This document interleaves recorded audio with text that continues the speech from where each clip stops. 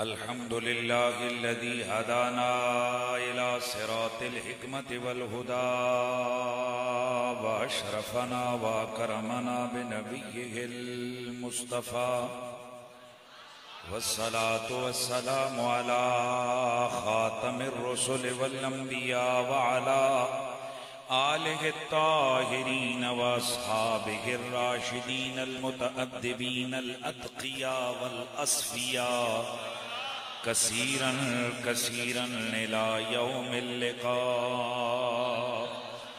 अम्मा बाद फाउद बिल्लाह समील अलीम मिन शैतान रजीम। बिस्मिल्लाहिर्रहमानिर्रहीम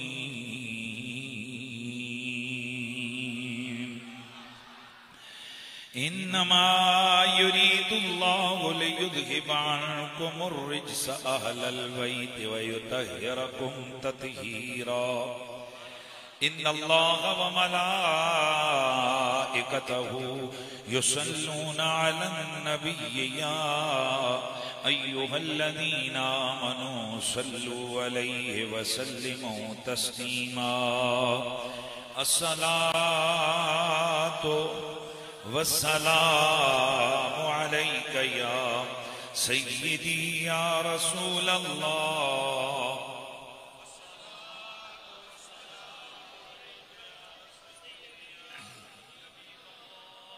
हिदेराक से वरा है रुतबा हुसैन का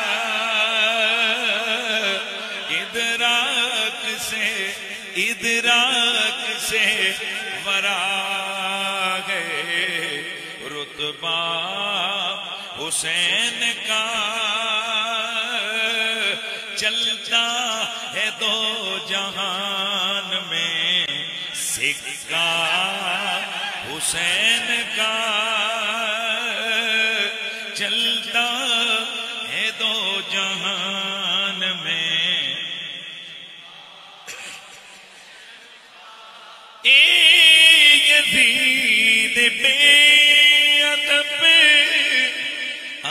जाएगा किधर? ए यजीद बेअदब तू अब जाएगा किधर? दुनिया हुसैन की है, उकबा हुसैन का। दुनिया हुसैन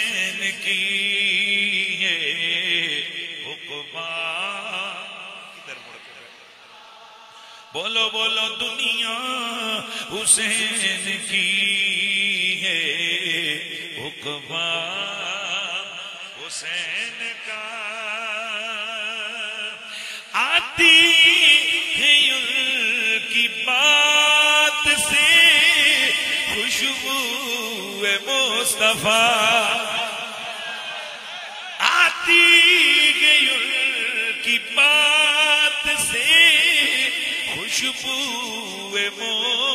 मुस्तफ़ा मिलता है दाना जान से, लहजा हुसैन का। मिलता है नाना जान से।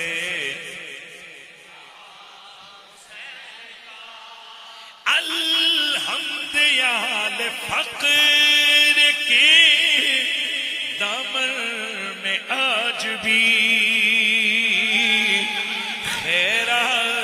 मुस्तफ़ा की है सदका। खैरात मुस्तफ़ा की है सदका। बोलिए बोलिए, खैरात मुस्तफ़ा की है सदका।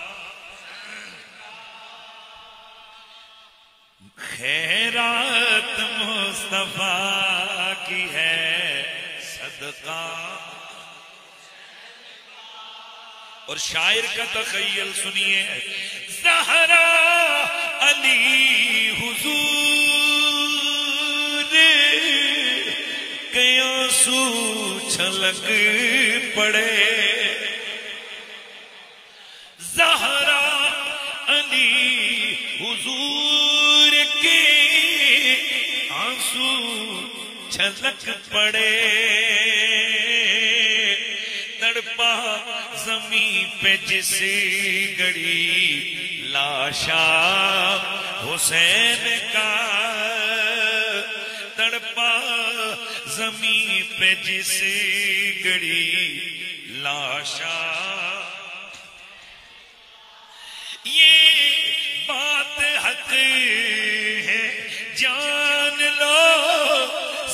सैयद के बाखुदा। इस्लाम को बचा गया सजदा। बोले बोले, इस्लाम को बचा गया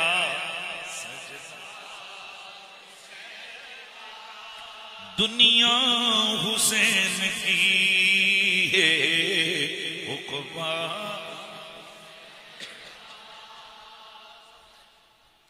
बादा जमदो सलात लाए के सत ताजीम व तकरीम। यादगार असलाफ, फाजल जलील, आलम नबील, हज़रत गिरामी मरतबत, मौलाना अब्दुल हमीद ज़ियाई अदाम फ़यूज़कुमसामी मुजाहिद आल सुन्नत गिरामी मरतबत, हज़रत मोहतरम मौलाना मोहम्मद नज़ाकत तवसम साहिब। लायक ताज़ीम तकरीम, दीगर जुमला हज़रत गिरामी मरतबत मुफ्ती साकिब अली हजारवी साहिब, मौलाना मुफ्ती मसूद बिन अब्दुल अज़ीज़ साहिब, हज़रत ग्रामी मरतबत मौलाना मोहम्मद अहमद रजा सिद्दीकी साहिब, जनाब मोहतरम मोहम्मद इरफान सैफी, इरफान? मोहम्मद सफ़ीर सैफी साहिब कारी किताब रहमान, हज़रत मोहतरम मौलाना कारी मोहम्मद अमीन ज़ियाई साहब, हज़रत मोहतरम जनाब मौलाना मोहम्मद फैज़ महमूद साहब, लायक के ताज़ीम तकरीम दीगर जुमला कराम, सालार काफिल मोहब्बत जनाब मोहतरम मौलाना अब्दुल हसीब ज़ियाई साहब अजीज़ुल कदर, जनाब मोहतरम मौलाना मोहम्मद साकिब अली ज़ियाई साहब, दीगर जमी सना खाना ने मुस्तफ़ा कराम, जमी हाजरीन सामई मैं जिन हजरातमा के नाम नहीं ले सका, जनाब हज़रत मोहतरम मोहम्मद तुफैल साहब दामद बरकत मला लिया सारे मेरे सर जितने उलमाए बाजुका तो नाम मुस्तहजर नहीं होता चेहरे से तो हम पहचानते हैं जनाब मोहतरम कुरैशी साहब, मोहम्मद सजाद कुरैशी साहब। बहरहाल, जमी हाजरीन सामई। हजरात, आज की अजीम शान महफिल शहजादा गुलगू कुबा सैदुलशहदा जिगर गोशाए सैदा जहरा। सैद नौजवान जन्नत। हज़रत सैदुलशहदा इमाम हुसैन रदी अल्लाह तला आपकी अजीम बारगाह में न्याज अकीदत पेश करने के लिए और आप और आपके बावफा पुर असर और रजा और सब्र के पैकर, जुमला साथी जो करबला के मैदान में इस्लाम को बचाते हुए, शहीद हुए, उनकी मुकद्दस बारगाहों में नजराना अकीदत पेश करने के लिए आज की अजीम शान शहदाय करबला कॉन्फ्रेंस, जिसका मकसूद ये भी है कि यहाँ इस मस्जिद में पूरी ज़िंदगी खिदमत करने वाले आखिरी दम तक मौलाना नूर मोहम्मद, चिश्ती साहब उनकी रूह को इसाले सवाब किया जाए। और इस मस्जिद का एक पुरम माहौल, ये इस बात का गमाज है कि यहाँ बड़ी पुरकैफ और पुरअम बावकार शख्सियत रही है।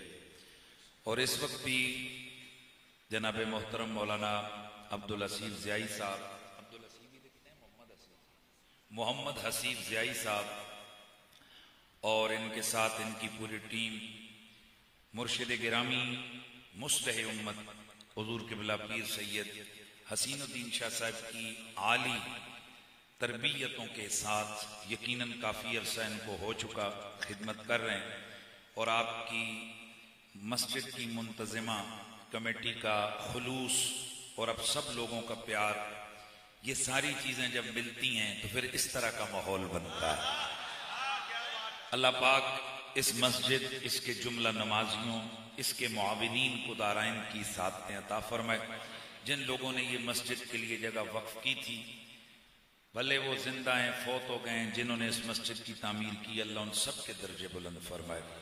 बिला तफसील, मैं अपने उनवान की तरफ़ आता हूँ। आपके इल्म में होना चाहिए। बुनियादी मुकदमे के तौर पर चंद बातें और इनको धीमे लहजे में आसान अंदाज से कहूँगा, क्योंकि ये सारी चीज़ें मेरी तकरीर का निचोड़ है और अगली तकरीर जो आ रही है, वो सारी इन्हीं बुनियादी मुकदमात के दलाइल के तौर पे आएगी। तो मेरा गुफ्तगु का, तकरीर का पहला मुकदमा या पहला पॉइंट आप कह लें, वो ये है कि जिन हस्तियों का ये ज़िक्र करने के लिए महफिल सजाई गई है, वो हस्तियाँ आम नहीं है, वो हस्तियाँ वराउल वरा है। वराउल वरा का मतलब ये होता है कि ये हस्तियाँ किसी अक्ल के, इलम के तराजू पे तुल ही नहीं सकती। मेहरबानी कर और इन हस्तियों को ना तोलने का सबक हमें हुजूर के सहाबा ने लिया है। मेहरबानी फरमाए जरा। और मैं यार बच्चों को उठा दें, इसीलिए मैंने पहले ही उठवा दिया था कि ये दरमियान में जब उठक बैठक उठा दो यार, इनको साइड पे कर दो। ये दरमियान में जब उठक बैठक होती है तो फिर वो सारा पूरा माहौल डिस्टर्ब हो साइड पे, उस साइड पे कर दे, मेरे सामने से उठा। उठ जाओ, पुत्र, उठो ना। एक दफ़ा कह दिया ना, बच्चे हो तो फिर साइड पे चले गए हूँ बच्चे भी आने ना सी सत्रह साल है। साइड पे बैठ गए। बड़े दरत आ गया पुत्र, तुम ही सत्रह साल का बुढ़ा है। साइड पे हो जाना दृश्य पढ़ लें।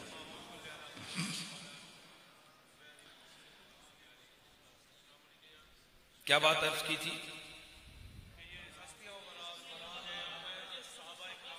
हाँ ये हस्तियाँ वराउल वरा है। ये किसी अकल के तराजू पे, या इल्म के तराजू पे तुलने वाली नहीं। है ये सबक देने वाली हस्ती हमें रसूलुल्लाह के साहबा की। आप कहेंगे, किस साहबी की और ये बात अपने पल्ले बाँध दीजिए? हम अहले सुन्नत हैं। और अहले सुन्नत ये हुजूर की हर निस्बत से टूट के प्यार करते हैं। हमारे एक हाथ में हुजूर की आल का दामन है और हमारे दूसरे हाथ में मुस्तफ़ा के यारों, सहाबा का दामन है। और मैं अपना मुआकिफ अहले सुन्नत का आपके सामने दो जुमलों में रखते हूँ। हम आल को उस तरह मानते हैं जैसे सहाबा ने माना। और सहाबा को उस तरह मानते हैं जैसे अहले बैत ने और जब हम सहाबा कहते हैं तो उस वक्त हमारी मुराद हुजूर के वफादार यार होते हैं। वो कंजर किस्म की मखलूक कि जिन्हें आज के यजीदी सहाबा का जनाब नाम देकर मशहूर करें। हम उन्हें जूते की नोक पे रखते हैं। जैसे आज के बेअदब और बदतमीज मरवान लमती को सहाबा की लिस्ट में ले आए। इबने जियाद और अब हद हो गई यजीदी फौज के जर्नेल आमर बिन सात जैसों को सहाबा की लिस्ट में बयान किया जाने लगा। हम इनको सहाबी नहीं, इनको जहन्नम के सूर और कुत्ते कहते हैं। और सहाबा कौन है? जिन्होंने हालत ईमान में मेरे हुजूर की। मजलिस इख्तियार की। और हालत ईमान में ही दुनिया से ये तशरीफ़ ले गए। और जो हुजूर के सहाबा हैं, उनके लिए हमारा बड़ा वाजे सा मौकफ है कि उजते दुनिया में लोकी कोई सोने ते कोई कोजे ने, पर मेरे सोहने आका दा हर यार बड़ा सोहना गिरामी मरतबत हाजिरी आल को उस तरह मानते हैं। जुमला तो पूरा करना है ना। जैसे सहाबा ने माना, और सहाबा को उस तरह मानते हैं। जैसे आल ने माना, ये पिछले दिनों से मैं लगातार ये जुमले दे रहा हूँ अपने सुनने वालों को। आल ने सहाबा को कैसे माना? अबू बकर मुसल्ले पे। और बाकी पीछे खड़े होकर नमाज़ पढ़ रहे हैं। और सहाबा ने आल को कैसे माना? हसन कंधे पे अबू बकर उठा के चल रहे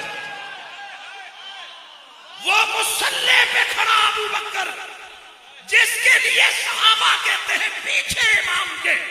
अल्लाह अकबर। वो अबू बकर एक लाल को कंधों पे उठा के मस्त होके चलता है और कहता है, अल्लाह की कसम है, अली ये तेरे से नहीं गया, तेरे से नहीं गया। तेरे से नहीं गया। अली मुस्कुराते हैं। अबू बकर, पुत्र मेरा है। फिर किसका बेटा है? वो कहते हैं, जिस पे शक्ल गई है बेटा।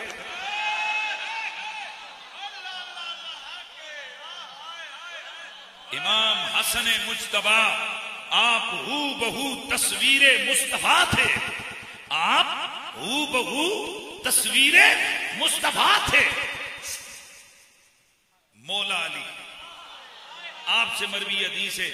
हज़रत मौला कैनात मौला अली पाक करम ताला वजल करीम, आप फरमाते हैं कि अशफा रसूल अल्लाह काला अल हसन अशफा रसूल अल्लाह है। अशफा रसूल अल्लाह है। माँ बैन सदर इलर रास वल हुसैन अशफा नबी, माँ काना असफल मिन जालिका, कि सीने तक चेहरा सारा सर से लेके सीने तक। हसन तस्वीर मोहम्मद थे। और यहाँ से नीचे हु बहू हुसैन तस्वीर मोहम्मद थे। और मैं कहता हूँ, इमाम आले सुन्नत ने हाथ कर दिए। आप फरमाते हैं, बस यूँ समझो। जैसे ये दो मिलते हैं तो तस्वीर मोहम्मद मुकम्मल होती है। एक सीने तक मुशाबे, एक वहाँ से पाँव तक। उसने सिर्फ़ तैन के जामो मेघनीमा नूर का, तेरी नस्ले पाक में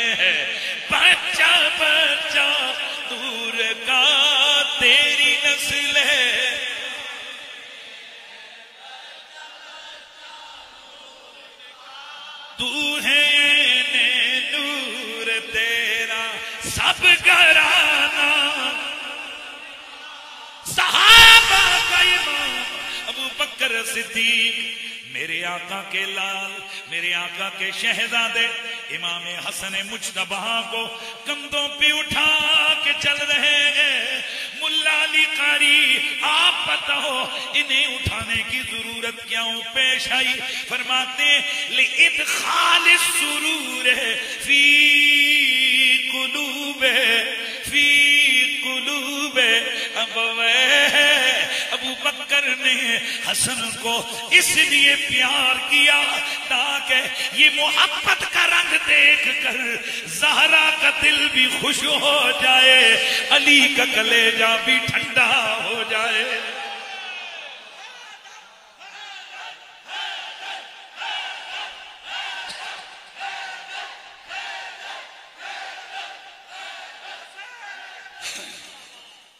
इसीलिए तो फिर अभी इसी मन इसी मन से, इसी स्टेज से एक आवाज़ लगी थी, जिसे आपने कोई खास रिस्पांस नहीं दिया।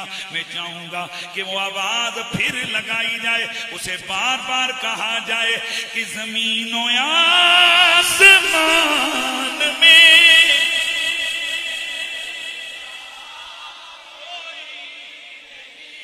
जमीनों आसमान सा कोई नहीं। खुदा के इस जहान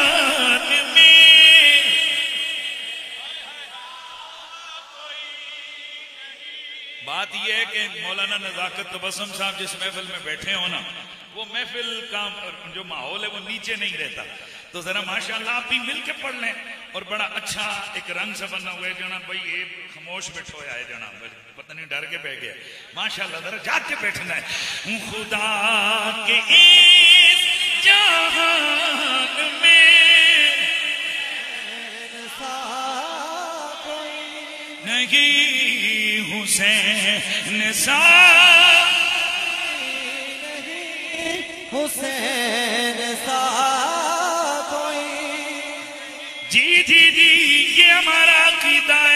हुसैन नहीं हुसैन सा। अब सवाल पैदा हो गया, हुसैन जैसा दूसरा कोई क्यों नहीं है?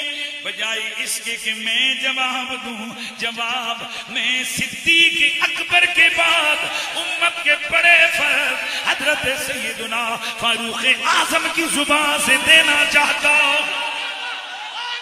जनाबे हज़रत सैदना फारूक आज़म ने एक दिल जब वजाइफ मुकर्र फरमाए तो उसमें कैटेगरियाँ रखी, कैटेगरियाँ समझते हो वजीफे मुकर्र हुए।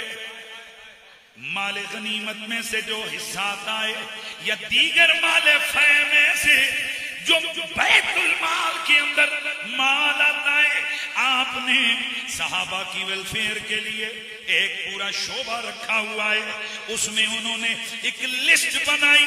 उस लिस्ट में जहाँ बदरियों के नाम लिखे मुतकदमीन इस्लाम के नाम लिखे, वहीं पर हसन हुसैन का नाम भी लिखा। में आफत साबी ने इसे पूरी डिटेल में मासनत रिवायत किया है कि जब हज़रत उमर ने वो लिस्ट आम की और उस लिस्ट का मतलब क्या था, बाकियों को हिस्सा एक मिलता था, ये लिस्ट वालों को दोहरा मिलता था। आपके बेटे हज़रत अब्दुल्ला बिन उमर आपकी खिदमत में है बाबा आपने ये दो नाम क्यों लिखेंगे लोग पूछते हैं कि रीजन क्या है? ना ये बदरी, हसन हुसैन, ना ये बदरी, ना ये मुतकदमीन इस्लाम, ना हिजरत वाले। न बेहती उकबा उला वाले न बेहती उकबा सानिया वाले। ये तो ये तो ये जंगे बदर के बाद दुनिया में तशरीफ़ लाए। न इनके क्रेडिट पे जिहाद, तवज्जो। न इनके क्रेडिट पर कोई लंबे चौड़े हज नहीं कोई और चीज़ है। इन्हें आपने किस लिए, किस वजह से इन्हें आपने बदरियों की लिस्ट में लिखा है? अगर कोई, अगर एक बड़े बाप का बेटा होने का मतलब है तो फिर मेरा बाप भी अमीरुल मोमिनीन है। अब हज़रत उमर ने जो जवाब दिया, खुदा की कसम, वही मेरा जवाब है। हज़रत उमर ने न दाढ़ी, न पगड़ी, न लोटा, न मुसल्ला, न मसवाक पता नहीं मैं लोटे मुसले ते मसवाक की गल करना। मुझे मैसेज आते हैं तुम साढ़े खिलाफ बोले हो।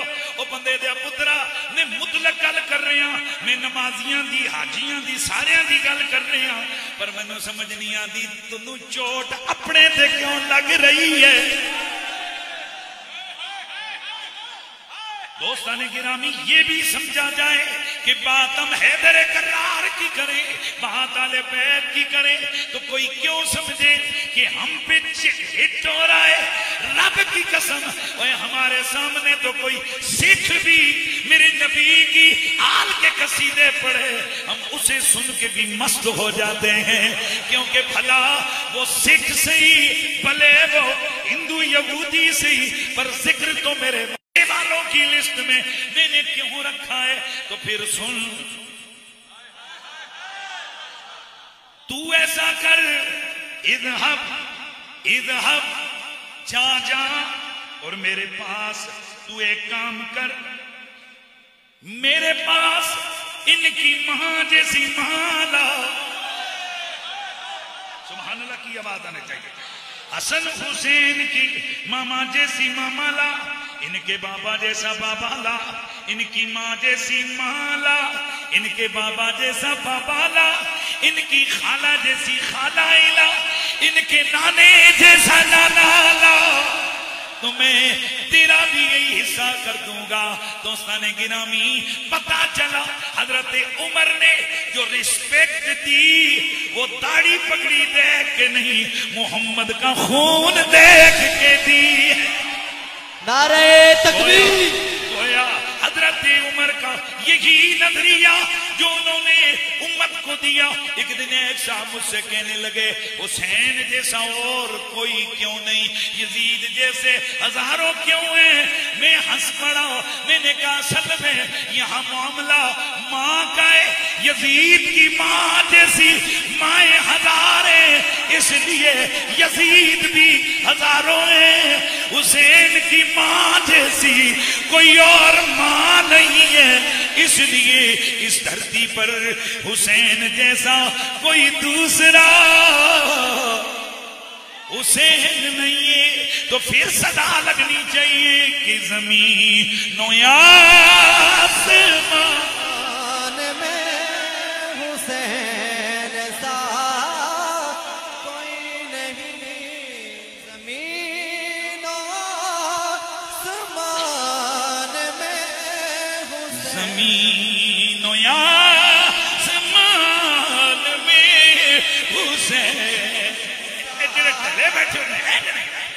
हुसैन सा कोई नहीं। हुसैन सा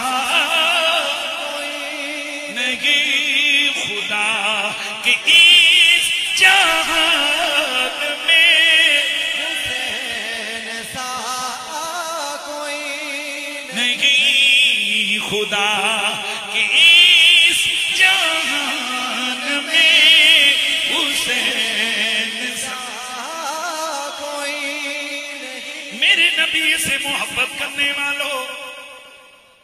इमाम अली मकाम इमाम हुसैन हो या सैदना हसन हो या उनकी मामा सैदा जहरा हो या उनके बाबा मौला अली हो इनसे हम मोहब्बत इसलिए करते हैं कि मेरे नबी ने जिस वक्त उनसे सवाल हुआ, या रसूल अल्लाह मन अहब्बल खल्क इलैक मिन अहले बैत का पूरी मखलूक में से, आपके घराने में से सबसे ज़्यादा प्यारा आपको कौन लगता है?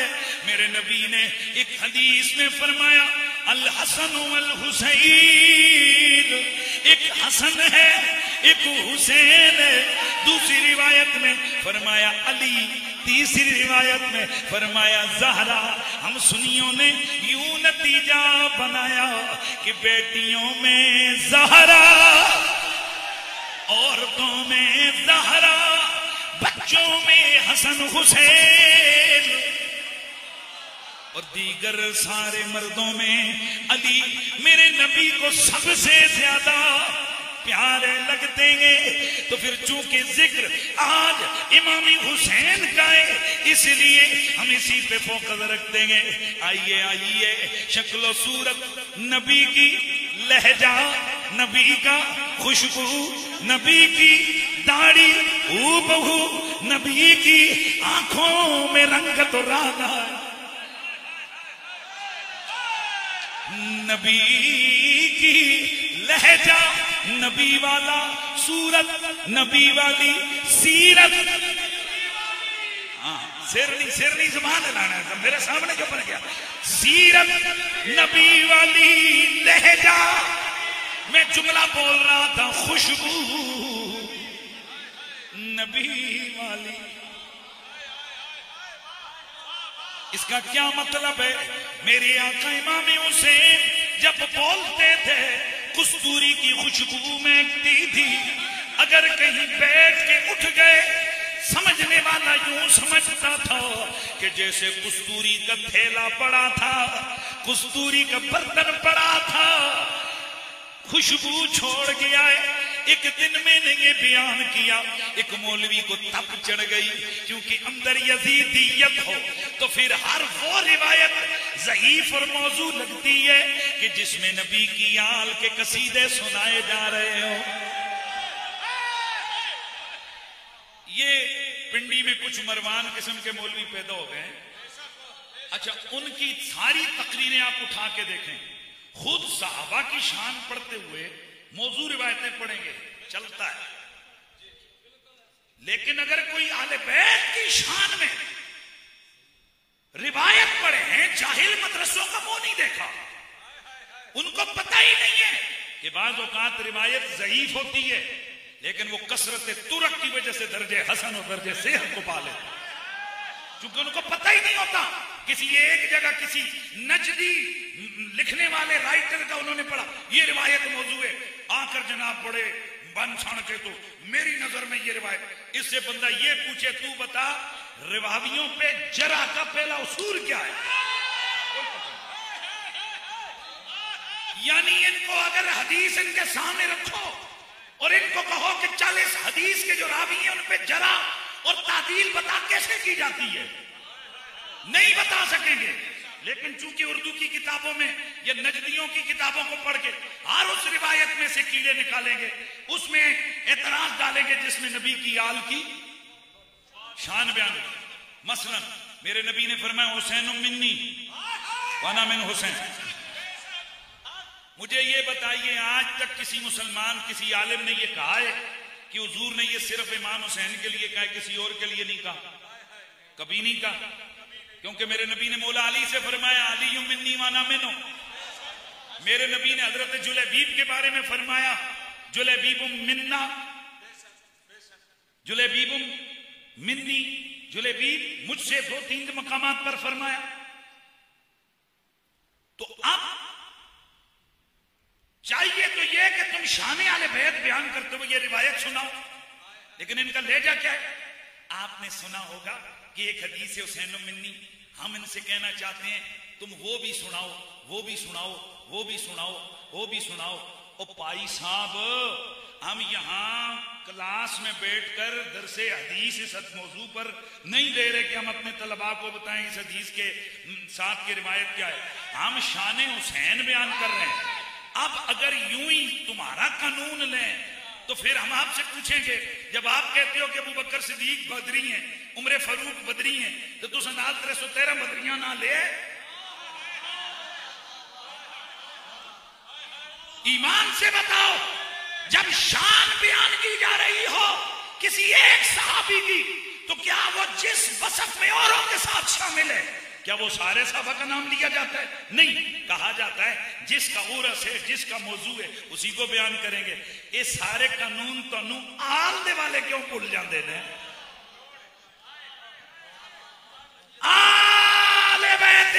की शान में वारिद होने वाली रिवायतों पर ये हाथ साफ़ करेंगे। मैं कतहन ये नहीं कहता। बैत की मोहब्बत में या उनकी अजमत में आप मौजू रिवायतें बयान करें। वजह पता क्या है? इनको मौजुओं की ज़रूरत ही नहीं है। इनकी शान में कुरान की सही आयतें हैं। मेरे ख्याल में मज़ा नहीं समझा है? ये मेरा तारीजी जुमला है। कल ये ना कहना कि आयतें भी गैर सही होती हैं, तारीज को समझो। इन्हें रिवायतों की ज़रूरत ही नहीं है। इनके लिए कुरान की मुकद्दस आयतें का। नारे तकबीर।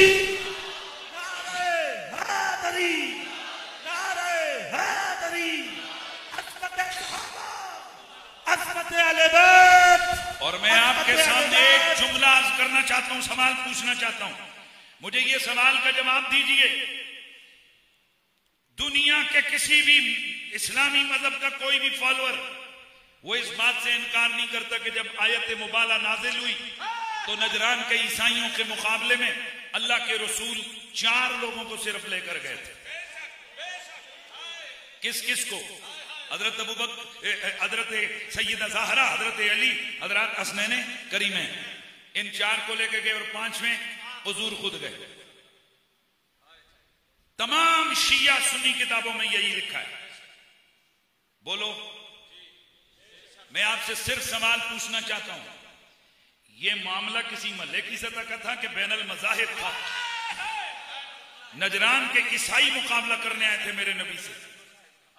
तो अब मेरे रसूल को कैसे बंदे चुन के वो सौ बंदा आया हुआ था? तो हजूर को भी तो कम से कम सौ साथ लेके जाना चाहिए था। लेकिन याद रखिए, यहाँ रसूलुल्लाह का जाती इंतखाब नहीं था। यहाँ इंतखाब उसी जात का था जिसने गार के लिए अबू बकर को चुना था। आए हाय हाय यहाँ इंतखाब उसी जात का था जिस जात ने मजार मोहम्मद के लिए अबू बकर और उमर को चुना।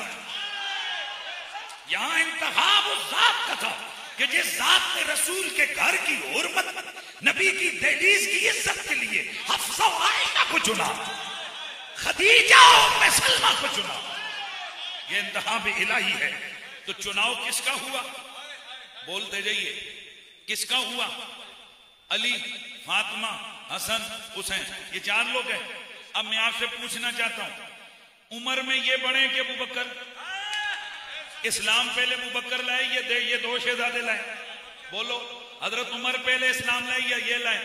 और भाई, जब उन्होंने इस्लाम लाए ये तो भी पैदा भी नहीं हुए थे। वो जिहाद कर रहे थे, ये भी पैदा भी नहीं हुए। थे वो हिजरत कर रहे थे, ये भी पैदा भी नहीं हुए। थे न इनकी दाढ़ियाँ, न इनकी पगड़ियाँ, न इनका मिसवाक। क्योंकि ये तो छोटे छोटे बच्चे हैं, इतने बच्चे तो मिसवाक पकड़ ही नहीं सकते। हैं? ये इतने बच्चे तो मिसवाक के माने से भी बेखबर हैं। और वैसे भी एक बात जहन में रखिए, ये कोई ना समझे, ये ना कहे कि दहन मोहम्मद अरबी अपने दहन मुबारक को साफ़ करने के लिए, या अहले बैत अपने दहन को साफ़ करने के लिए मिसवाक मारा करते थे। ये खबरदार कोई कहे कि आप दहन को साफ़ करने के लिए करते थे। अरे, और जिनके जिस्म से निकलने वाला पसीना कस्तूरी से ज़्यादा पाकिजा हो, उनका लोहाब कितना पाकिजा ये तरबियत मोहम्मदी के लिए था। इस ये तरबियत उम्मत के लिए था। ये तरबियत उम्मत के लिए था।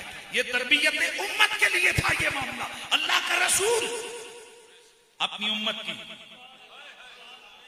बोलिए, अपनी उम्मत की तरबियत के लिए ऐसा कर रहे थे। अब जरा बात को आपने समझना है।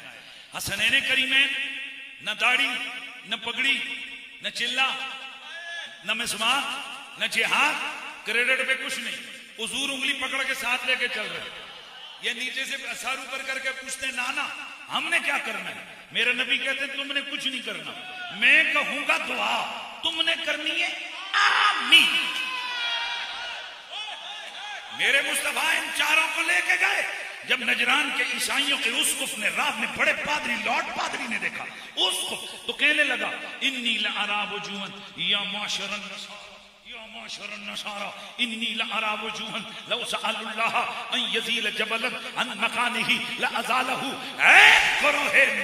के ईसाइयों के लश्कर और करो मैं ऐसे चेहरे आते देख रहा हूँ अगर ये पहाड़ को कहेंगे ना अपनी जगह से हट जा पहाड़ अपनी जगह बदल देगा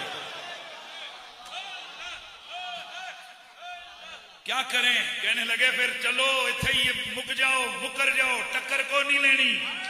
मेरे हुजूर गए, फरमाया, आओ चैलेंज किया था। लानतुल्लाह है न जहल लानत है। अलल काजिबी, झूठों पर हम लानत भेजेंगे अल्लाह की। चलो, उठाओ हाथ। कहने लगे, तुसी जितने असी हरे।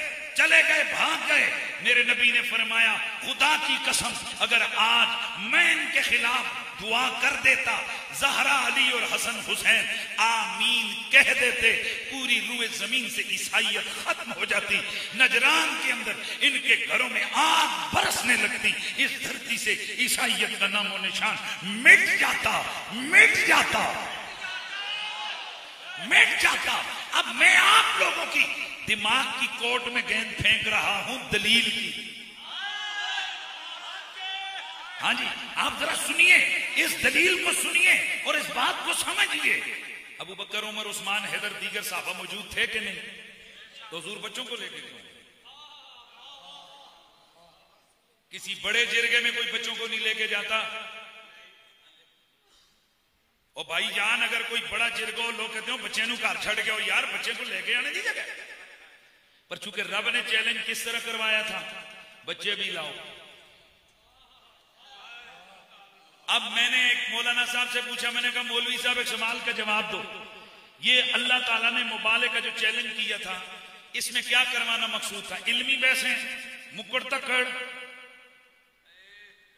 काजी, कुरान में मफहूम वाजे न ज़मीन इसमें दुआ करवाना था। तो मैंने कहा, रसूल ने शहजादों को बुला के बता दिया कि जब देखे जाए ना अल्लाह की बारगाह में कुर्बतों के मामला वहाँ उम्रें नहीं देखी जाती। कई दफ़ा बच्चे भी आमीन कह दें तो भाई, मुझे सवाल का जवाब दो। नबी पाक के सहाबा को दूर लेके नहीं गए।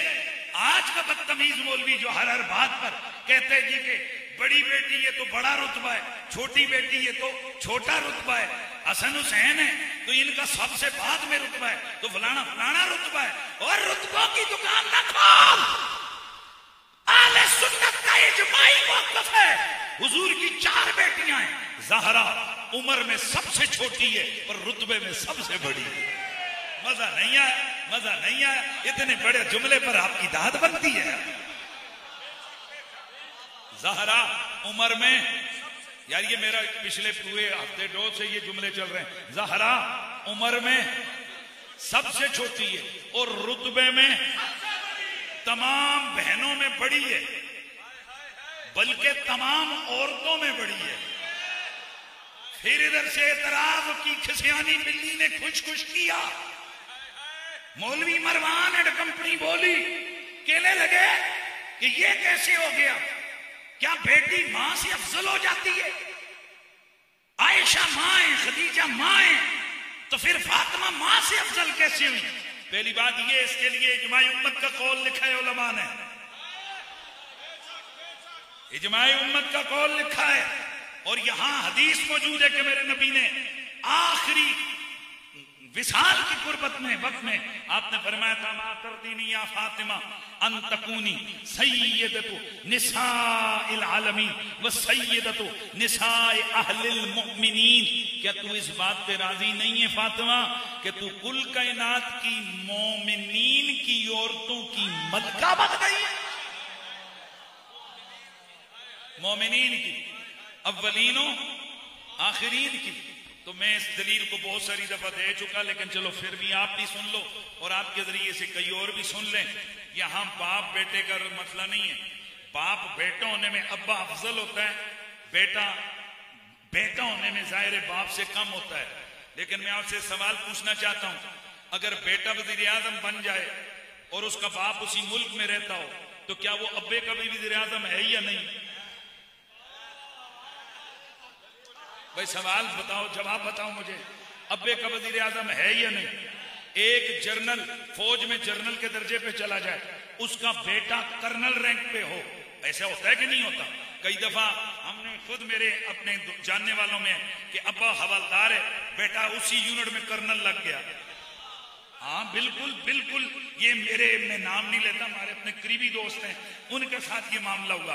बेटा कर्नल उसी यूनिट में आ गया। अब्बा, अवलदार अवलदार उसी यूनिट में। तो ऐसा हो सकता है। अब बताइए, अगर बेटा बेटा जर्नल है, अब्बा कर्नल है तो क्या कर्नल साहब का भी ये जर्नल है कि नहीं है?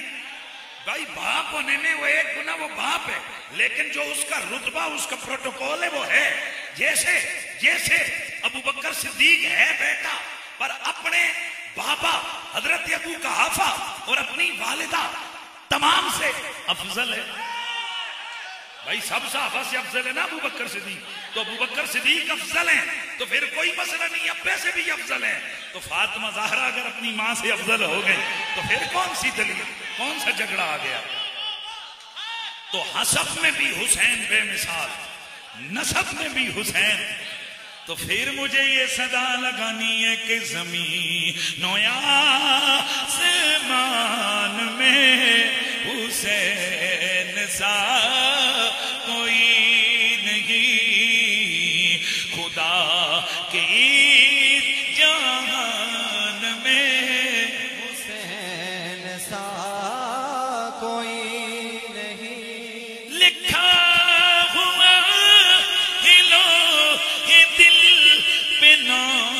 बस उसी का लिखा हुआ लिखा हुआ हेलो है दिल में नाम बस हुसैन का।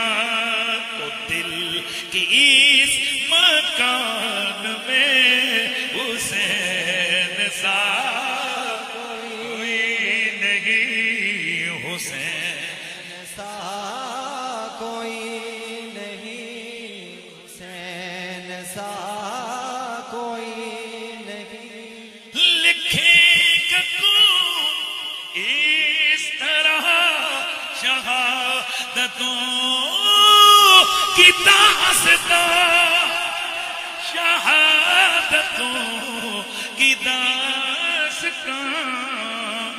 किसी के खान इधर इधर।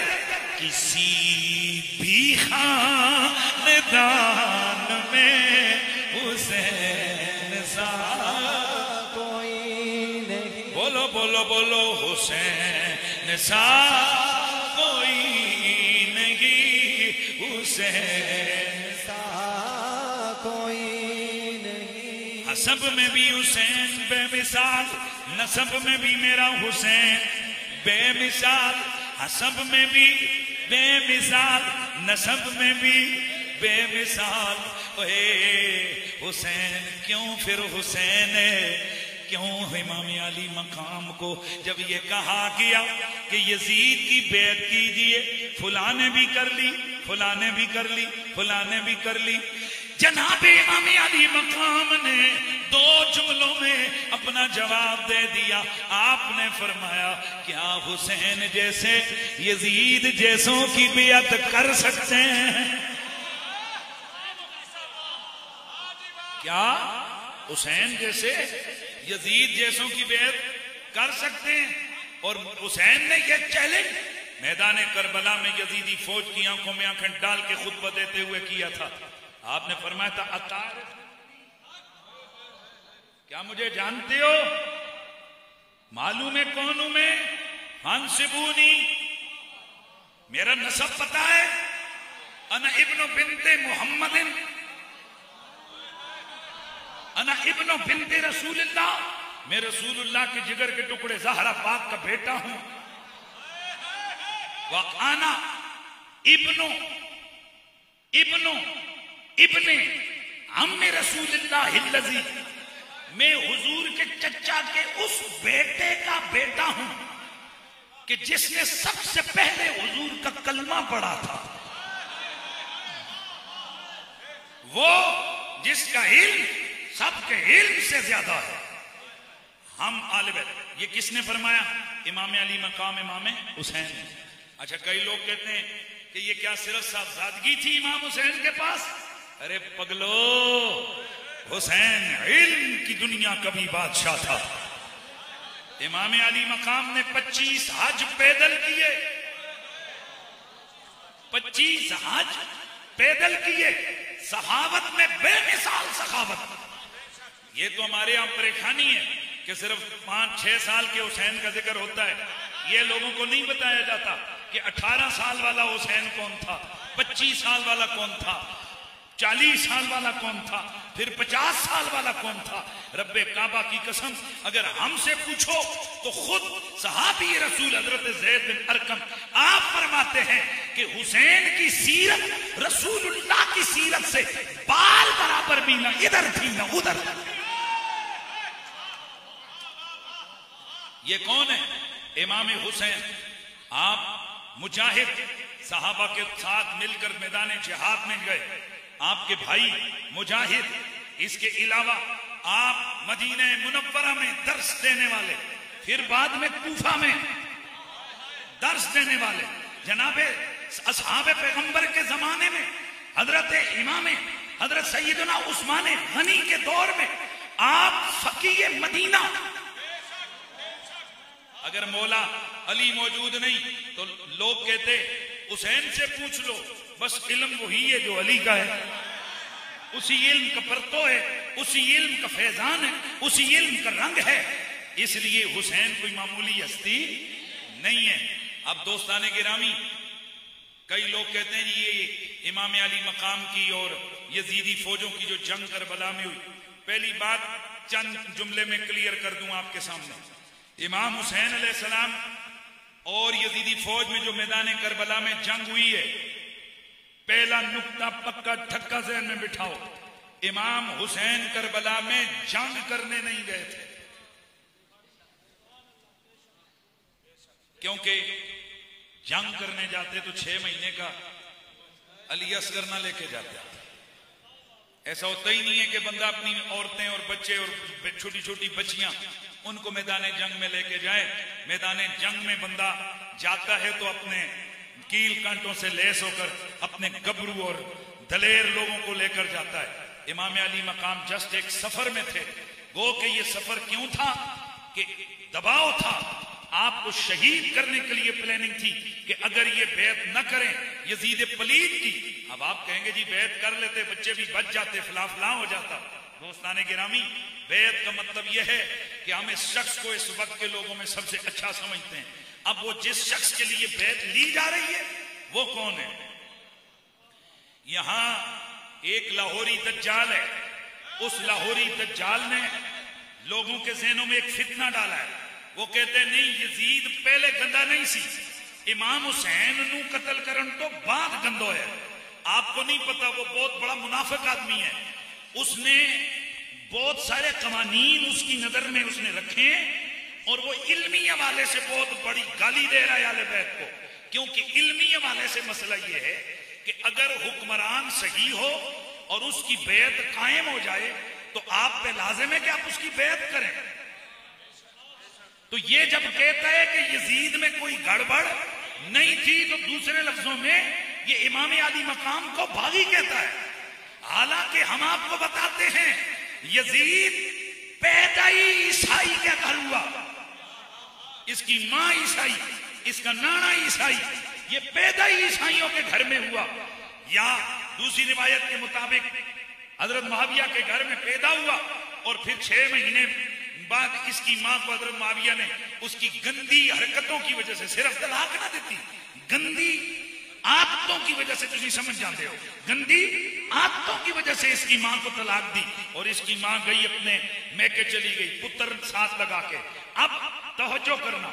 अब ईसाइयों का घर, आपकी बेटी आपके घर में आए चंद दिन मेहमान बन के आए तो आपके घर में क्या उसके लिए अलग से पानी का फिल्ट्रेशन प्लांट से लाते हो? ये जो कुछ घर में होता है, वही पीती है। जो पका होता है, वही खाती है। ऐसा ही है। अब आप सोचो, घर किसका है? ईसाइयों का। पाल कौन रहा है? यजीद। खाना सूर। खा रहा है यजीद। भाई,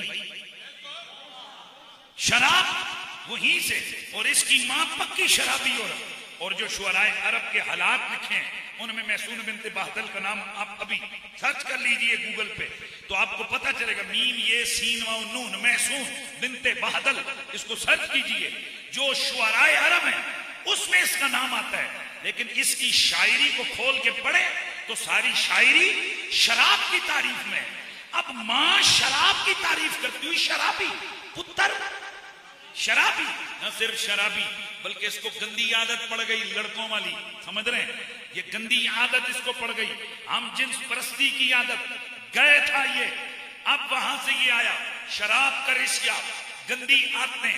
लोंडियों, गुलामों के साथ गंदे मेल जो नमाज़ की परवानी कुरान का पता नहीं। अब ये पला बड़ा इसकी बेहत हो रही है। अब जब इमाम अली मकाम को कहा गया, इसकी बेहत करो। आपने फरमाया, हुसैन जैसे यजीद जैसों की बेहद नहीं करता। वजह क्या है कि यजीद के मिशन में शामिल है, वो शेर कहकर कहता है, कोई बात नहीं है, अगर दीन मोहम्मद में शराब हराम है तो ईसा के दीन में तो जायज़ है, पी लो तो क्या फ़र्क पड़ता है? फिर उसने माओ के साथ, बहनों के साथ, शादियों की इजाज़त दी हुई। इतना कभी हो हरकत, कमीना शख्स ऐसे हालत में जब कहा गया इमाम पाक को जालिम जाबर, फासक, फाजर, कि अब आप इसकी बेयत करें। तो कई लोग क्यों, क्या कहते हैं? ओ जी, अगर यजीद ने ना, वो गंदा किसी और वजह से इमाम साहब ने बेत नहीं की है। यजीद पहले ठीक था, जब इमाम को कत्ल किया तो फिर खराब हुआ। मैंने कहा, नहीं, अगर ठीक होता और कौन अकलमंद आदमी है कि कोई बंदा ठीक हो और वो अपने बहत्तर साथियों को कुर्बान कर दे? ये असल में यजीद को ठीक कहकर इमाम पाक पे उंगली उठाते हैं कि जी, यजीद तो ठीक था, इमाम पाक माजल्ला जज्बाती थे, इसलिए उन्होंने बैत नहीं किए अगर ना सुनो, यजीद लगी मेरे जुमले नजाक सबाब आपकी तरफ़ तवज्जो में चाहूँगा। मेरे जुमले, यजीद और हुसैन में अगर कंपेयर तो है ही नहीं है। कंपैरिजन है ही नहीं है। कोई मुकाबला है ही नहीं है। कोई तकाबुल है ही नहीं है। पता है क्यों? क्यों? कि हुसैन जमजम की तरह, यजीद शराब की तरह, हुसैन जमजम की तरह, यजीद शराब की तरह। भले ईमान वालो, शराब और जमजम में क्या निस्बत है? हुसैन हुसैन सोने की तरह, यजीद गोबर की तरह। भले ईमान वालो गोबर की मिंगनी में और सोने में क्या मुनासिबत है? मेहरबानी करिए, मेहरबानी मेहरबानी कीजिए। हुसैन हुसैन, कौसर और तस्नीम की तरह, यजीद पेशाब की तरह। ईमान वालों, कभी पेशाब और कौसर और तस्नीम के जाम में भी कोई मुनासिबत है? अब मैं अगला जुमला कहने लगा हूँ। इस पे मैं देखूँगा आप कितने बोलते हो। यजीद यजीद, फोहश फोहश फोहश, नावल का फटा हुआ वर्का। आपसे मैं डाल लेना चाहता हूँ। यजीद, फोहश, नावल का फटा हुआ वर्का। हुसैन, कुरान का सिपारा।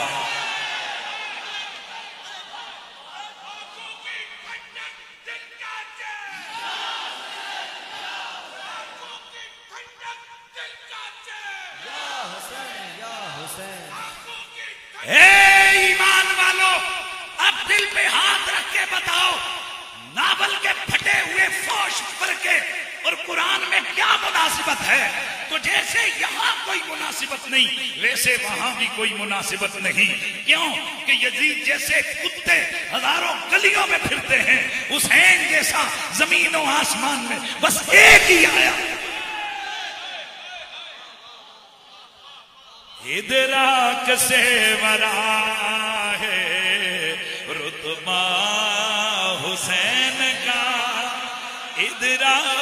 से वरा है।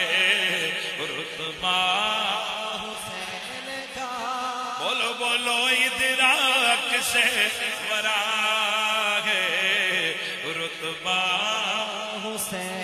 का चलता है दो जहान में सिक्का। हुसैन का चलता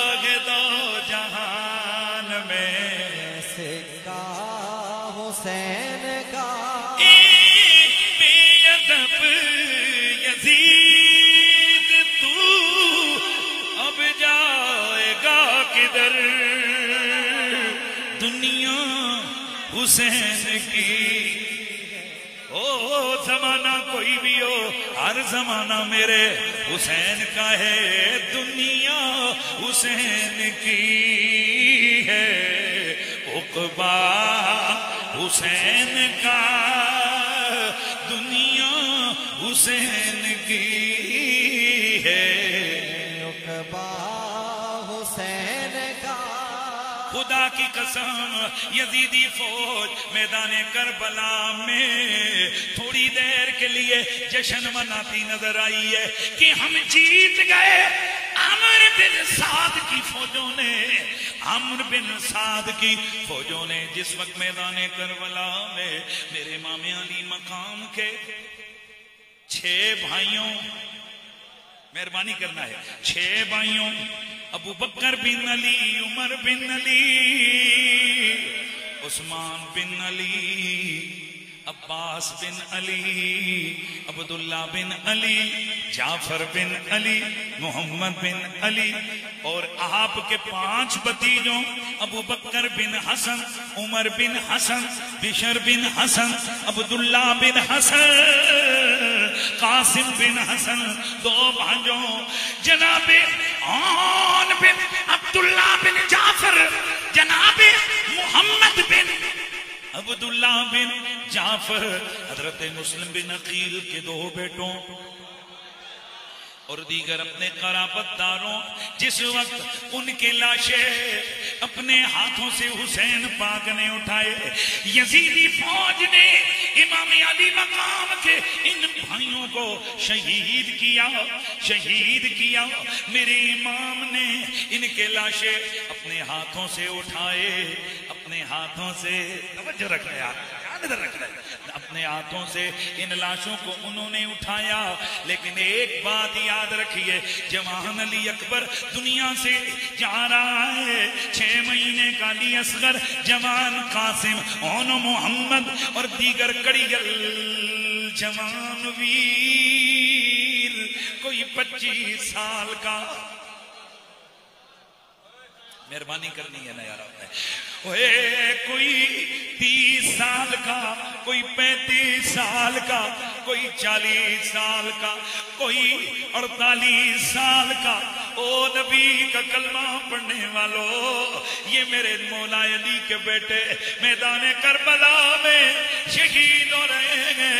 इतनी शहादतें मेरे इमाम ने अपनी आँखों से देखी, लेकिन एक बार भी मेरे इमाम ने न चेहरा पीटा, न सीना कुबी की, न शिकवा, न शिकायत, कुछ भी नहीं है। इसीलिए कहने वाला, इसीलिए कहने वाला कहता है, कहने वाला कहता है कि इस दुनिया पे हाय हाय, दो जगह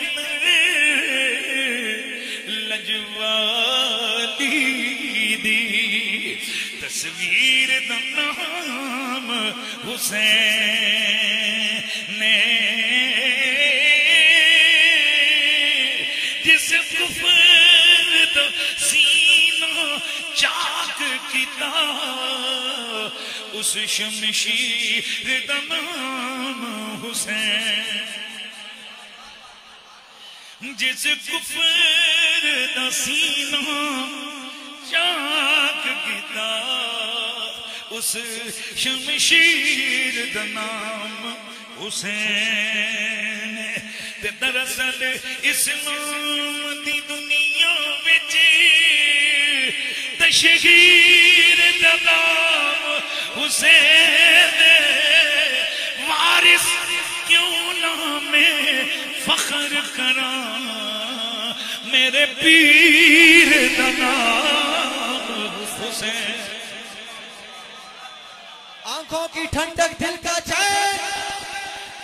आँखों की ठंडक दिल का चैन। दोस्ताने गिरामी वो हुसैन इब्ने अली। मेरा नबी जिससे इतनी मोहब्बत करते गए, सही रिवायतों में है एक दिन मेरे नबी के कानों में, इमामी हुसैन के बचपन में, अपनी वालिदा की गोद में रोने की आवाज़ आई। और आपको पता है, बच्चे रो पड़ते हैं। मेरा नबी दस्तक देने दरवाजे पे खड़े हो गए। दस्तक हुई, अंदर से आवाज़ आई, कौन? मेरे नबी ने फरमाया, जहरा। तेरा बाबा आया है सैयदा लबकी मेरे नबी को इस्तकबाल किया। हुजूर अंदर आए, मेरे नबी ने बेकरार होकर पूछा सहारा मेरा हुसैन क्यों रो रहा था? अर्ज़ की, बाबा, बस यूँ ही रो गया। मेरे नबी ने बड़ी नागवारी से फरमाया, परेशानी में फरमाया फरमाया, जहरा, हुसैन को रुलाया ना कर, तुझे पता है कि तेरे बाबा को हुसैन का रोना तकलीफ़ देता है। दोस्तों ने गिरामी वो हुसैन इब्ने अली, जो मैदा जो वालिदा की गोद में रोए, मेरे नबी को बेकरार कर देता है। अब उस हुसैन पर जो मजालिम की चक्की चली है वो जो जुल्म के पहाड़ टूटे हैं तेरा खुद तो गौर करो, ये इस तरह कौन है दुनिया में ऐसा शख्स कि जिसकी आँखों के सामने उसके जवान बेटे को नेजों पे उछाला जाए, उसके छह महीने के लखते जिगर को तीर मारकर उसकी गोद में शहीद कर दिया जाए। अरे लोगों, वो छह जवान भाइयों के लाशें आखिर कौन उठा सकता है? ये जवाब दिया है मेरे रूमी कश्मीर ने उन्होंने कहा था कि सीखाए उत्ते मखण पकाना ओ डांडा औखा कमे बछड़े के ओ दीन बचाना ओ सखी हुसैन दकम में दोस्तान गिरामी, अब चश्मे तस्कुरात में, मैदान करबला में आ जाइए। मैदान करबला में आ जाइए। ये मैदान करबला है। उधर हुसैन इब्ने अली, तीन दिनों के प्यासे, आपका खानदान प्यासा। ये सब भूखेंगे मैदान करबला के अंदर दस मुहर्रम उल हराम को यजीदी फौज ने नकारे जंग बजाया। इधर मैदान जंग में मेरे मौला अली का बेटा, एक रिवायत में आता है, अबू बकर बिन अली सबसे पहले उतरे। दूसरी रिवायत में आता है, मोहम्मद बिन अली मैदान में सबसे पहले उतर के बता दिया कि जब भी इस्लाम को ज़रूरत पड़ती है, खून अबू तालिब का काम आता है।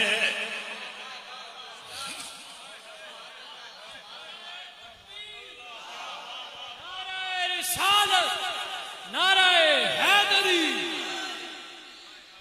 दोस्तान गिरामी मैदान कर करबला के अंदर, जिस घड़ी जंग शुरू हुई, अली के शहर जवान पुत्रों ने पुश्तों के पुश्ते लगाए।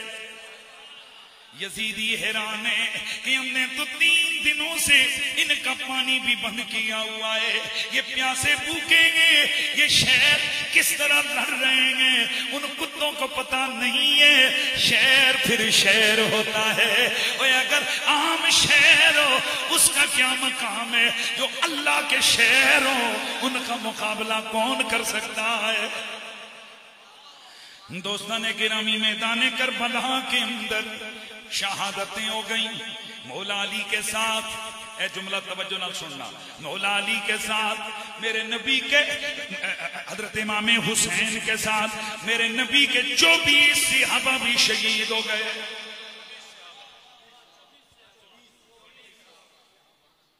कोई जाकिर आपको ये नहीं बताएगा, वो नहीं बताएगा कि हबीब इब्न मजाहिर कौन है।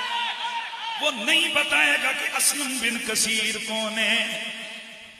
वो नहीं बताएगा कि मुस्लिम बिन हफसजा कौन है। वो नहीं बताएगा कि ये मेरे मोहम्मद रबी के जलील कदर सिहाबा मेरा दिल करता है कि जरा नाम ले लें। क्योंकि आपको काले नसीब वाला बंदा कभी भी नहीं बताएगा कि हज़रत जनादा बिन काबन सारी भी उधर थे। वो भी शहीद हो गए। अनस बिन हारिस हज़रत हनस बिन हारिस, असहाब सुफा वाले साहबी हैं। ये भी शहीद हुए। हज़रत जुंदम बिन हुजैर खौलानी, हज़रत जाबिर बिन उर्वा किफारी ये बदरी सियाबी हैं। हज़रत ज़ाहिर बिन अमर असलमी, हज़रत जियाद बिन उरैब, हज़रत सादल हारिफ, हज़रत शबीब बिन अब्दुल्ला हज़रत शोजब बिन अब्दुल्ला हज़रत अब्दुररहमान बिन अलुचा हज़रत अम्मार बिन अब्दी सलामा, हज़रत अब्दुररहमान बिन अब्दी रब, हज़रत अब्दुल्ला बिन हारिस बिन अब्दुल मुत्तलिब, हज़रत अम्र बिन तमीरा हौन बिन जाफिर तैयार, अब्दुल्ला बिन यक्तर कनाना बिन अतीक, मुजम्मा बिन जियाद, मुस्लिम बिन औसिजा नईम बिन अजलान और ये मेरे नबी के मुकद्दस साहबाए जो मेरे आका के शहजादे, इमाम हुसैन के साथियों में। लिहाजा जो लोग सहाबा पे उंगलियाँ उठाते हैं, उन्हें डूब के मरना चाहिए। इसलिए कि मैदान करबला में मेरे नबी के चौबीस सहाबा आले मोहम्मद के झंडे तले शहीद हुए हैं।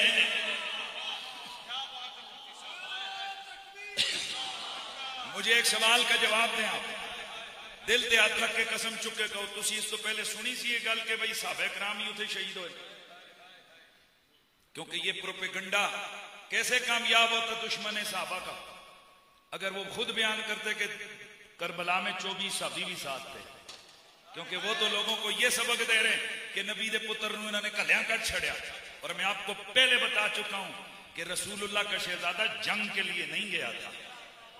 और तमाम शिया सुन्नी मसादर में ये बात मौजूद है। इसीलिए जिस वक्त ने आपका काफिला रोका तो ये थोड़े से थे, और कैसे पाई? मुकदमा तो जैश था। हज़रत गाजी अब्बास ने अर्ज़ किया था, आका हुक्म दें, सफाया ना कर दें इनका। मेरे इमाम ने फरमाया, नहीं अब्बास सबर। हम ये दुनिया के सामने ज़ाहिर नहीं करेंगे कि आले मोहम्मद ने पहल की। इसीलिए तो हम हुसैन पाक को मजलूम कहते हैं। और उन यजीदियों को बोलो, जालिम कहते हैं। और याद रखो हमारे सुन्नत व जमात के यहाँ, यजीद और उसके साथ साथी शराकायद के अंदर हमारी जो अकीदे की किताब है, उसमें लिखा है, यजीद भी लानती और इसके तावलक इसके सिपाही भी लानती और इसके साथ तावन करने वाले भी लानती आदे यार, रसूलुल्लाह के, आज अगर पूछो किसी से कि यार ये बताओ कि कोई बंदा हजरे असवद पे थूके तो, तो काफर हो गया। इन्हें मोलियाँ तरह देर नहीं लानी। इन्हों को पूछो जेड़ा कद्दू शरीफ की तो हीन करे काफर हो जाता है। दम तोड़ दो उससे। कद्दू शरीफ सब्ज़ी। यही मसला सुनिया ने ना कि जो बंदा कह के हजूर को कद्दू पसंद है बंदा कहे मैनू पसंद कोई नहीं। वो दंद तोड़ दो। इसको कद्दू पसंद नहीं है। हालाँकि हजूर को पसंद है। तवज्जो है सबकी। हजरे असवद को अगर कोई पत्थर मार के तोड़ दे, या डंडा मार के, क्या कहते हैं, काफर हो गया। क्योंकि अल्लाह के शायर की इसने तोहिन की।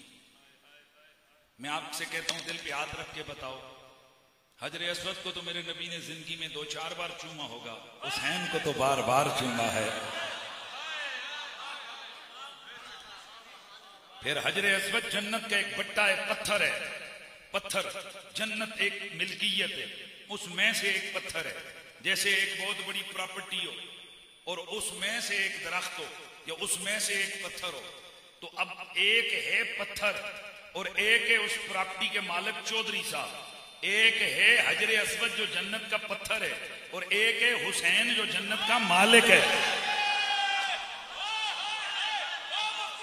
भाई, अब आप दिल पे हाथ रख के मुझे बताओ वो जो हुसैन की मिल्कियत का एक बट्टा है, जो जन्नत से आके मक्के में, काबे की दीवार में लग गया, उसको तो कोई थूके, वो काफिर, पत्थर मारे, वो काफिर, उसे तोड़ दे, वो काफिर, क्योंकि शायर अल्लाह की तोहीन है।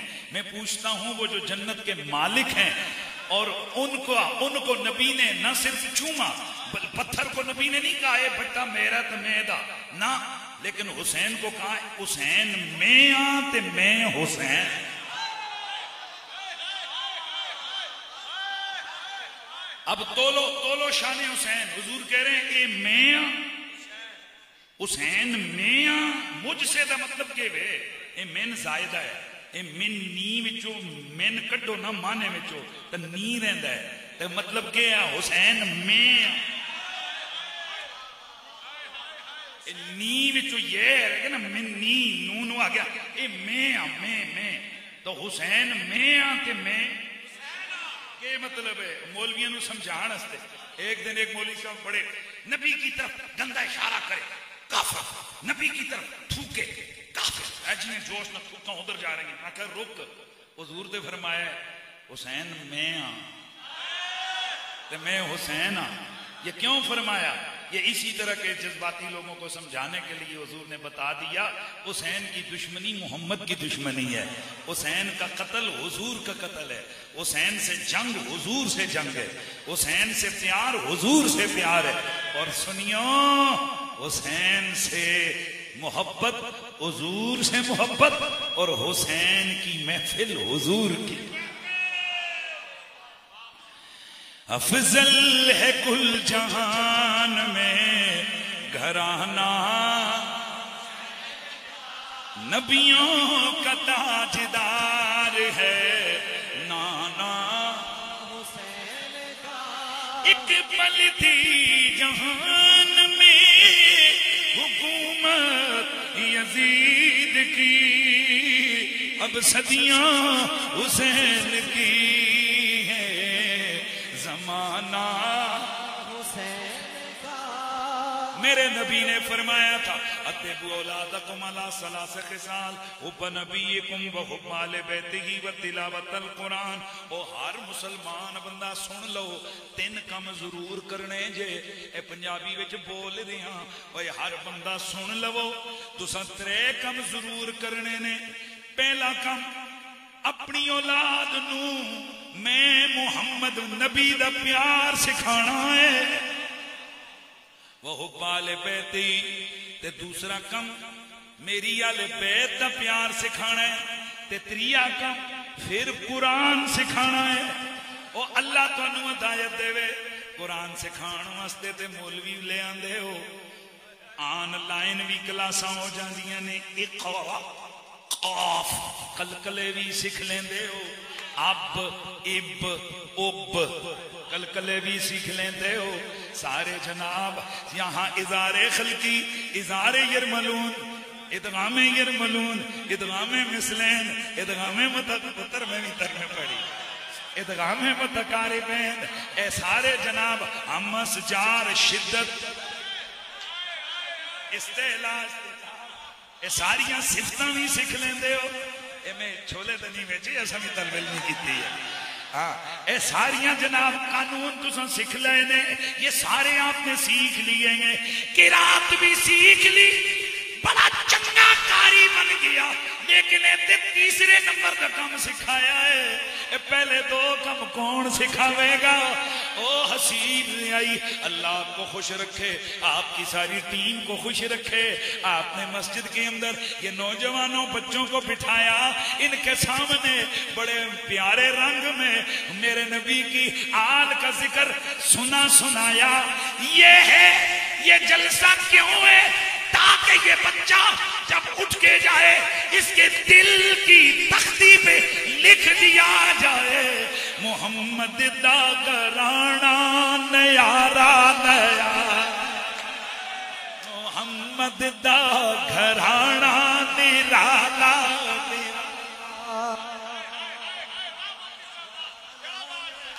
निराला। निराला दी बात मोहम्मद नबी दा घराना निराला मोहम्मद दा घरान नबी दा घरान निराला निराला ए मनदा है उसनू ए बख्तां वाला। वाला नबी दा घरान निराला निराला अल्लाह अल्लाह, नबी का घरान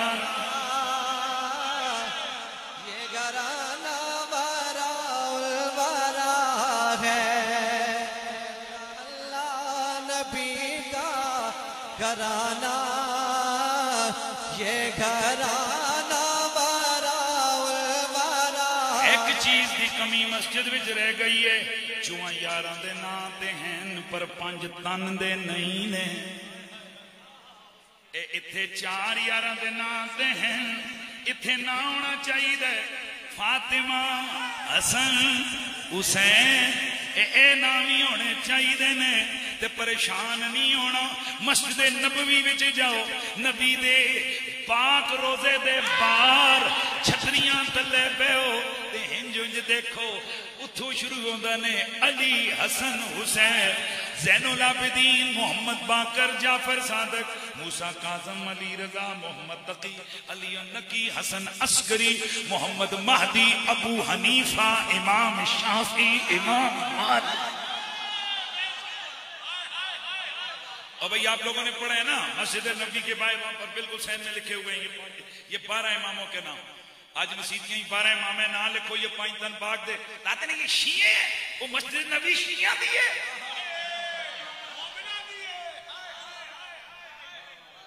बारह इमाम हमारे आले नबी, हम उनसे प्यार करते हैं, वो हमारे ईमान का किबला है। अगर उनके प्यार में जर्रा बराबर भी कमी होगी, बंदा मोमिन नहीं हो सकता। इसलिए मुझसे, मैंने अपनी मस्जिद के अंदर, आप मेरी मस्जिद में जाए हो दड़ले ना त्रे त्रे जाइया लिखे ना। ते मेरी मसीती जाके नाम पढ़े हो तो फिर तकियो कि मैं किस किस के नाम लिखे। तो फिर वो नाम पढ़ के, ते आके मौलवियाँ भी अइया करके आखियो और गल सुन, शिया की मसीती अशरम वशरा के ना आते ने वे।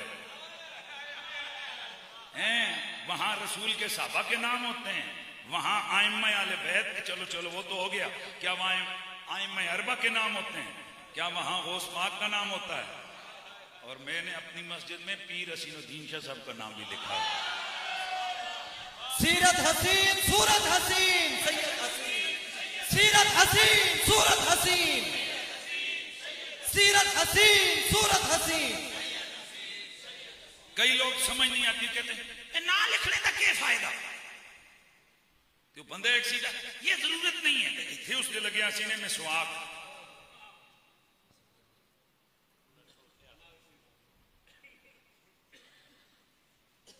समझ गए?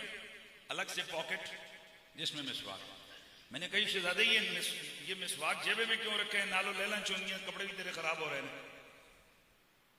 इधर पा। या कार रख किया मिसवाक करके उठी छोड़ के एक ही जेबे क्यों नहीं जुमला, यार बंदे ने बड़ा ज़बरदस्त किया मैं तो बड़ा मुतासर हुआ। उसके जी मिसवाक में कार करा तो कर आया, गल खत्म हो गई। मैं तो इतने तां लाया ताकि जेड़ा और नमाजी तके उस तक के याद आवे कि मैं भी मिसवाक करना है।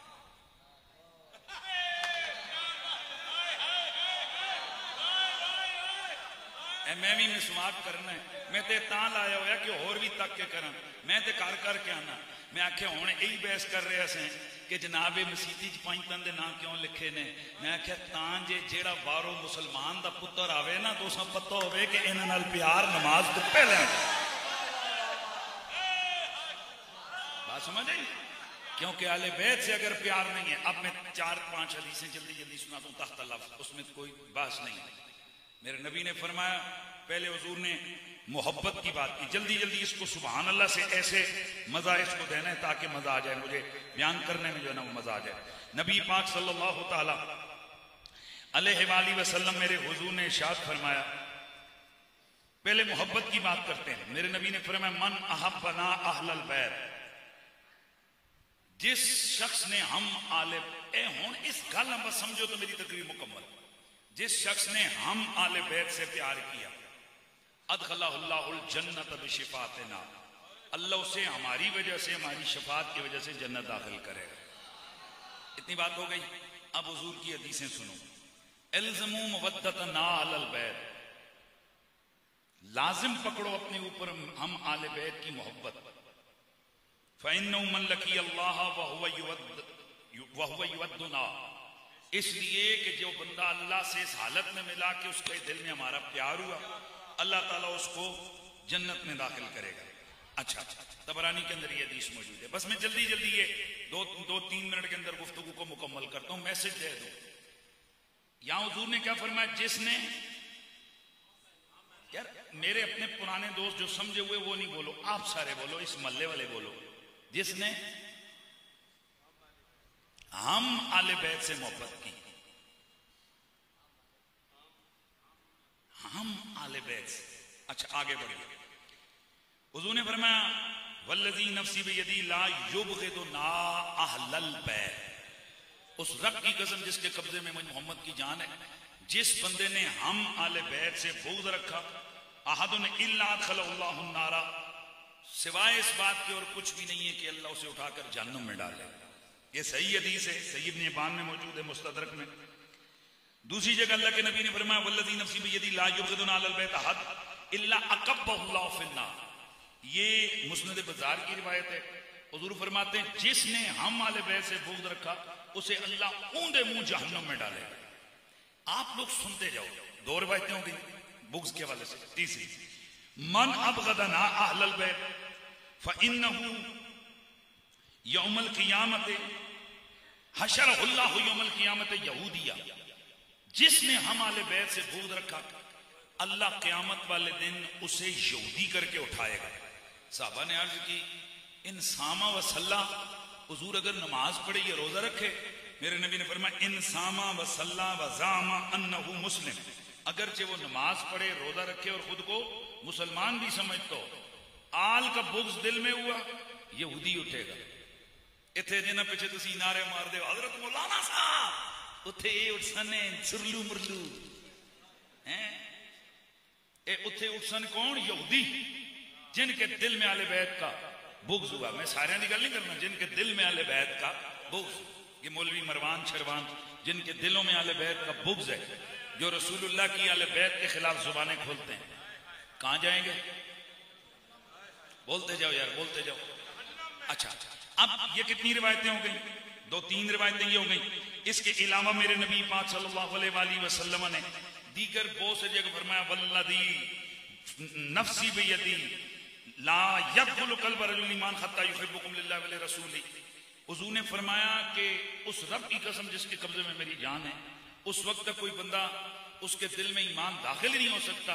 ए मेरे आले बैत, जब तक वो तुमसे मेरी वजह से और अल्लाह की वजह से प्यार ना कर ले अब यहाँ से पता चला हुजूर की आल का प्यार सारे फर्जों से बड़ा फ़र्ज़ है और हुजूर की आल का बुग्ज सारे गुनाहों से बड़ा बदकारी, ज्याकारी, सनाकारी, डकैती, चोरी, ये करने से कोई बंदा काफिर नहीं होता, पर नबी की आल का बुग्ज रखने से बंदा यहूदी बन जाता है। तवज्जो है कि नहीं? क्या बन जाता है? यहूदी बन जाता है। बस जिस नुक्ते के लिए मैंने आपको रोका था, हुजूर ने दोनों जगह पर जहाँ मोहब्बत की बात की, फरमाया, मन अहब्बा ना आलल बैत। और जहाँ बुग्ज की बात की तो फरमाया अब गदा ना आल बैत। अब मैं आपसे सवाल पूछता हूँ कि हुजूर आल बैत हैं या हुजूर हुजूर हैं और आल उनकी आल? देखो, एक मैं हूँ, एक मेरे आले बैत है। एक मैं हूँ, एक मेरे दोस्त हैं। एक मैं हूँ, एक मेरे शागिर्द हैं। तो मैं जब कहूँ कि ये हम शागिर्दों का ये मसला है तो आप कहेंगे, जी हम शागिर्दों का नहीं, आप तो उस्ताद हैं।